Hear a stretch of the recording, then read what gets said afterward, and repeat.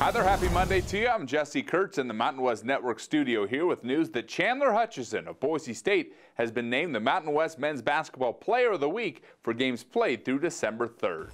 Hutchison led Boise State to a 3-0 week with victories over Loyola of Chicago, Oregon, and Portland, averaging 15 points, 8 rebounds, and 6 assists per game. Hutchison recorded the program's first known triple-double scoring 23 points and 10 assists while grabbing 10 rebounds against Portland. It's the fifth triple-double in Mountain West history. Up next for Hutchison and the Broncos will be a game against Sacramento State on Saturday, December 9th. You can watch that game live right here on the Mountain West Network. From the Mountain West Network studio, I'm Jesse Kurtz.